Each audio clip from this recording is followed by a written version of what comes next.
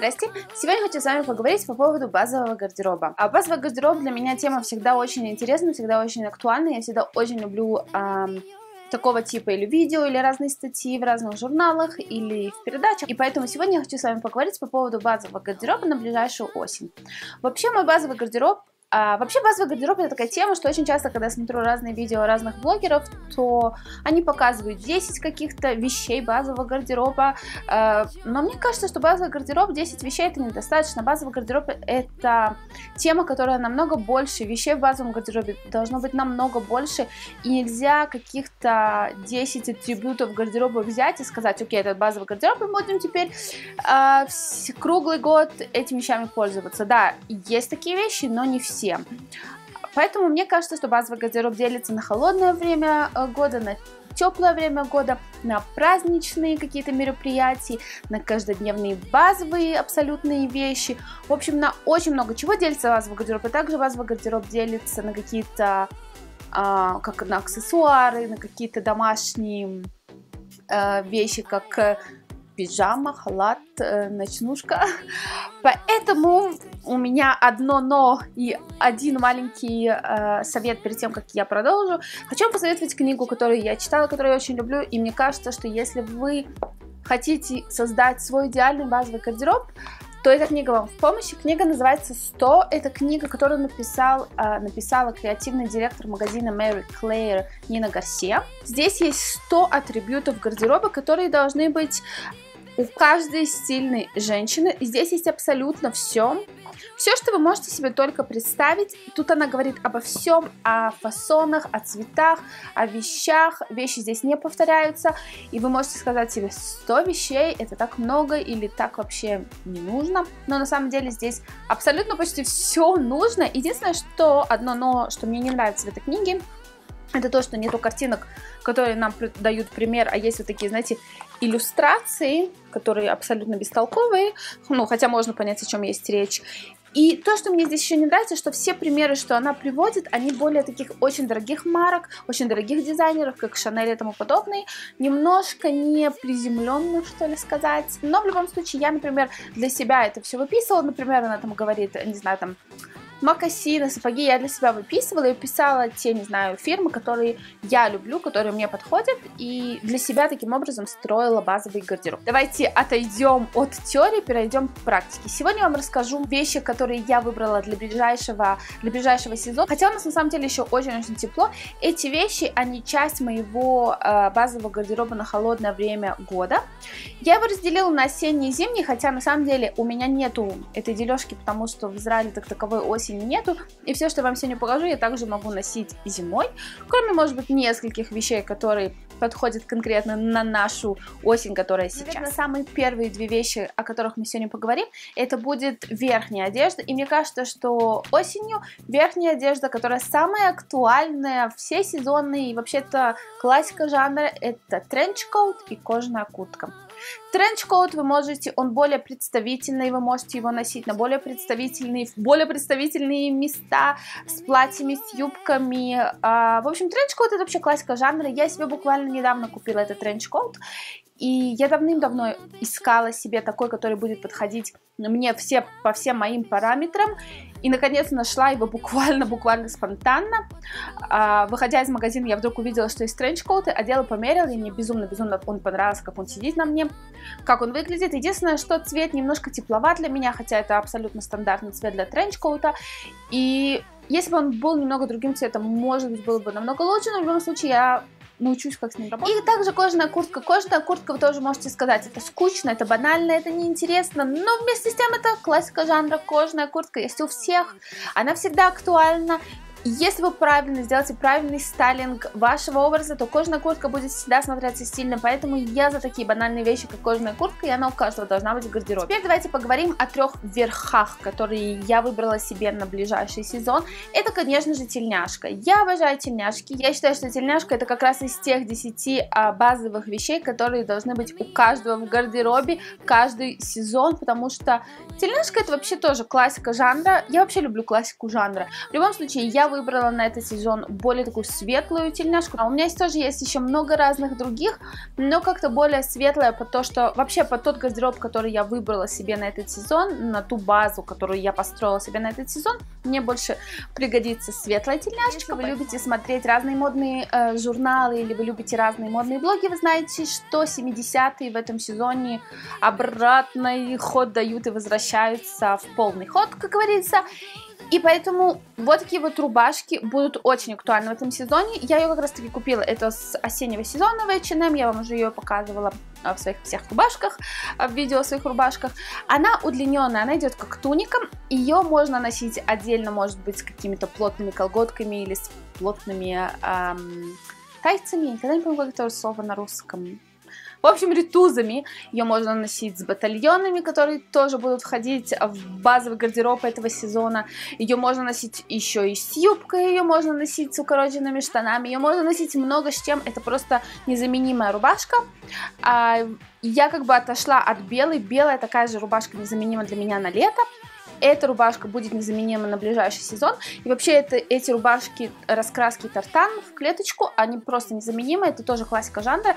И обязательно вам советую, чтобы у каждого из вас была такая рубашка такого или иного оттенка, который больше вам подходит в вашем гардеробе. Также в моем базовом гардеробе на осень будет обязательно какой-то джемперок, какой-нибудь свитерок. Конечно, в идеале, наверное, был какой-нибудь кашемировый, такой легкий, мягкий, удобный, подходящий подо все, светлый, может быть, какой-то тауповый или серый, такой, может быть, немного пушистенький, эм, свитерок, но такого у меня нету, потому что нету, и я ищу кашемировый хороший свитерок для себя очень давно. Это из тех вещей, которые я очень хочу в свой гардероб, но никак не могу найти что-то толковое, которое мне нравится, или чтобы оно было из настоящего материала. Теперь давайте поговорим о низе, который я предлагаю вам на этот сезон, и которые я лично буду носить. Конечно же, немножко укороченные штаны, брюки. Я выбираю стандартные черные, я их недавно купила, еще их не носила, и очень хочу поносить, поэтому вообще я считаю, что это классика жанра, и она должна быть в гардеробе на целый круглый год и должны быть какие-нибудь другие чинос, которые более разноцветные, может быть, на какие-то сезоны, но поскольку для меня, опять же, эта классика жанра была приобретена абсолютно недавно,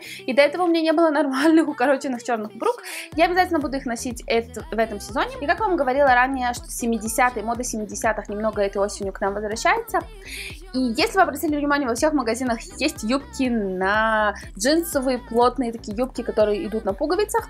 Я долго себе искала такую юбку. Я ее заказывала три разных фасона, три разных материала. Три раза, в общем, заказывала эти юбки, пока не заказала вот эту. Я выбрала такую потертую, тем, темно такого серого э, цвета. Юбка, которая сделана из стопроцентного хлопка. Если вы выбираете себе такую юбку на на кнопках, то есть на пуговицах, обязательно выбирайте из 100% материала для того, чтобы оно вас не тянулось, и чтобы промежутки между кнопками не растягивались, чтобы это не выглядело как-то странно. Я выбрала такую юбку, которая немножко идет буквой А, она абсолютно плотного материала, она в самый раз будет подходить на осень, тоже какими-то с колготками. Я буду ее носить и без колготок, с обувью, которую вам сейчас покажу тоже, а с обувью Сабон, но я вам про нее уже тоже рассказывала. Это моя самая любимая обувь на осень. В любом случае, для меня эта юбка какая-то новая базовая вещь. Я в полном восторге. Я для себя не выбрала синюю, такую а стандартную. Мне захотелось чего-то такого более ретро, чего-то такого более...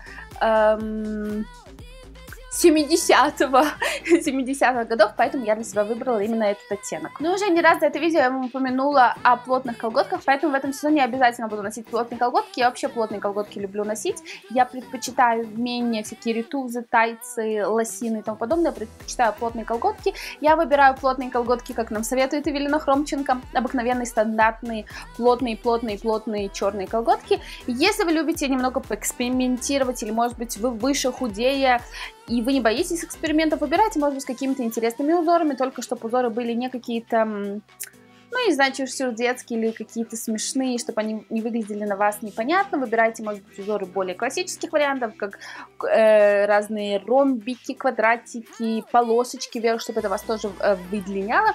Я лично на себе и на колготках не люблю вот это, это все волшебство, поэтому я выбираю абсолютно черные, стандартные. Пусть кому-то это кажется очень банально, на мне это выглядит намного интереснее, нежели что-то с узорами. И теперь давайте поговорим об обуви, которую я обязательно буду носить этой осенью осенью, как я вам сказала до этого буквально, с юбкой. Я буду обязательно носить, вы их называете с собой, если я не ошибаюсь, а, такие калоши на деревянной подошве, я их называю клогами, клокс.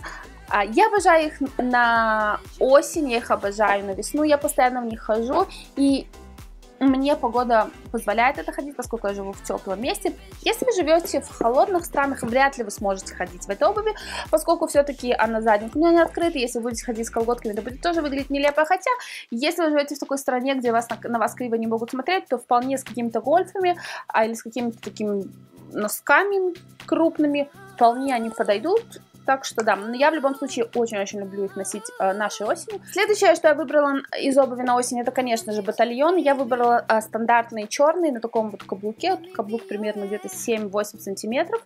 Не, наверное, 7, не 8.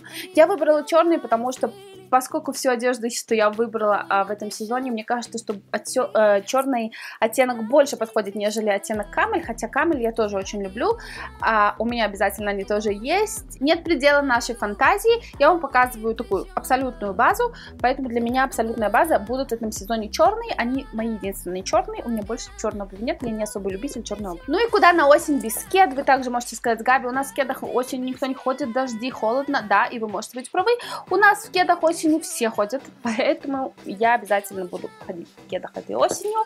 А, мне без кед никуда, они будут подходить под все. Я вообще кеды обожаю, я хочу купить себе такие серые, такие мышачьи серые, не могу найти. Если вы знаете, где купить, посоветуйте, потому что нигде нет мышачьих серых. Есть какие хочешь, мышачьих серых нету, я хочу именно высокие. Высоких нет. Аксессуар, который я вам предлагаю на осень, это два, это будет палантин, то есть такой шарфик. Я предлагаю вам такого яркого фиолетового а, цвета бургунди, такого винного фиолетового цвета. И также сумку. Сумку я вам предлагаю, которая абсолютно, кстати, идет противоположная по отношению к шарфику. Вот такая вот сумка, а, она не желтая, она такого горчичного цвета. Я вам говорила, что такой горчичный цвет тоже будет в этом сезоне актуален, поскольку он тоже каким-то образом мы возвращаемся в те же 70-е. И вообще если честно, я считаю, что горчичные сумки, они очень стильные, очень модные, подходят абсолютно под все, поскольку они очень самодостаточные, очень такие лаконичные сами по себе, Поэтому вот эта вот моя сумка была, кстати, в прошлой осенью, по-моему, любимой, и этой осенью я к ней возвращаюсь. И о косметике совсем быстро, несколько вещей, которые обязательно, обязательны для меня будут этой осенью, и уже обязательно. Конечно же, бронзер. Бронзер, но я пользуюсь бронзером, как и румяна, как и бронзер. Вот как у меня сейчас нанесено, так я и пользуюсь, я не добавляю никакие румяна. У меня вот такой вот бронзер, он новый, Новый бронзер, он не от Шанель. Я сама здесь прохимичила. Я выбрала отсюда румяна от Шанель. У меня здесь были румяна от Шанель. И сюда залила а, половину бронзера Хулы, который у меня оставался, и половину бронзера Chocolate Soleil от Too Faced. Смешала их вместе и залила его сюда. Румяна от Chanel, которые здесь были, которые абсолютно, на мой взгляд, неудачные и были куплены абсолютно под влиянием YouTube, а, которые назывались 68 Rose Queen. Я их перелила в маленькую другую палетку и переложила. Кстати, они стали работать лучше после того, как я их раскрошила и залила заново спиртом. В общем, теперь у меня в такой классной упаковке мой собственноручный э, бронзер. Я вам весь этот процесс рассказала, кстати, в инстаграме. Зайдите, посмотрите, э, как я это все сделала. А из помад я вам советую какой-нибудь яркий цвет. Я предлагаю помаду MAC э, в названии Sin, но вы можете выбирать все что угодно. Я предлагаю, опять же, такой цвет, знаете, яркий бургунди, то есть такой винный цвет. Я вообще люблю винный цвет на на осень. Моя рубашка тоже относительно винная. Помада тоже такого винного цвета. Я предлагаю вам помаду MAC не потому что... А, MAC, а потому что у MAC очень красивая и большая палитра цветов. Вы можете пойти в, в магазин MAC, который почти у каждого есть в городе, в стране, посмотреть на эту помаду, сделать сводчик, поискать, может быть, в марке, которая вам больше подходит, больше нравится, более актуальна для вас. А, в общем, такой цвет, мне кажется, на осени. Природа меняет свою листву, деревья опадают, вся вот эта вот красота, все вот это такой вот таких красивых желто-коричневых ярких оттенков, такая помада будет в самый раз. Ну и, конечно же, обязательно какой-то вкусный аромат должен быть на вас э, этой осенью. Я буду пользоваться вот этим ароматом от Джо Малон. У меня Wood, Sage and Sea Salt. Он мне очень напоминает осень. Мы как-то с вами по этому поводу говорили. Я вам сказала, что он для меня абсолютно запах древесины с какой-то свежестью. Но кто-то из вас мне сказал, что абсолютно никакого запаха древесины в этих духах нету. Мне кажется, что есть. Для меня это абсолютно, абсолютно осень. Я ему уже вшикаюсь вообще. А, Просто волшебный запах, очень мне нравится. Хочу теперь такую большую, хотя у меня здесь еще много есть, но в любом случае. Обалденный а, запах. Также мне на осень нравится 212 от Каролины Херрера, тоже классика жанра, который у меня уже 12 лет есть. Постоянно им пользуюсь. А, но вот поскольку этот новенький, это очень буду пользоваться этим. Ну что, это все, что я вам хотела сегодня показать, рассказать. Такой мини-базовый гардероб на ближайшую осень. Надеюсь, вам было интересно. Если вы хотите что-то добавить или что-то а, рассказать от себя, или, может быть, поправить меня в чем-то, обязательно пишите свои комментарии внизу. А мы с вами увидимся очень скоро. Пока. In on all your secrets. No inhibition, no sin.